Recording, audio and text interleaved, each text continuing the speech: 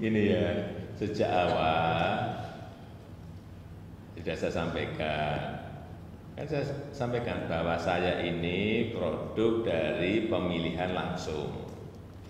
Sehingga saat itu waktu ada keinginan untuk amandemen, apa jawaban saya?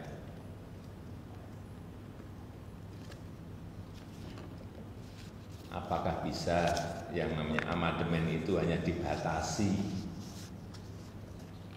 untuk urusan haluan negara? Apakah tidak melebar ke mana-mana? Ya sekarang ini kenyataannya seperti itu kan?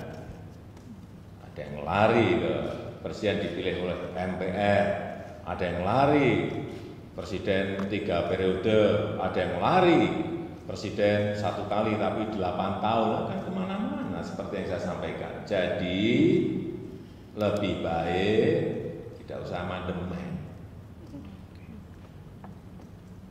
Kita konsentrasi aja ke tekanan-tekanan eksternal yang sekarang ini bukan sesuatu yang mudah untuk diselesaikan.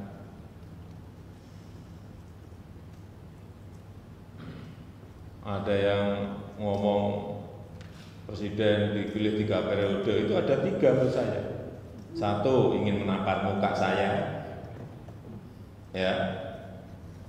Yang kedua ingin cari muka, padahal saya sudah punya muka.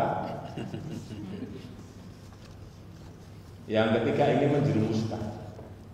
Itu aja. Sejak awal saya sampaikan.